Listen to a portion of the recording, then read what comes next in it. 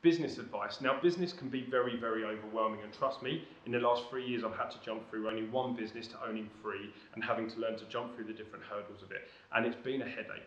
But actually, now I've done it, I see how simple it actually is. It's just the fact that I actually progressed at such a rate, it was just kind of hard to keep up with it. The business side of it is very simple. We just want to get you performing as a photographer, getting the work out there that you need to be getting out there to get you the clients coming in to pay you the money that you're worth. Sure, you can see big sums of money and you can actually make a very profitable business for yourself. In just five years, I've gone from earning £1,800 in a year to over £80,000 a year. It's quite a big jump and it's a completely different way of looking at life. And we can get you there. It's just a case of you persisting and putting the time in to learn and grow these things as you move on.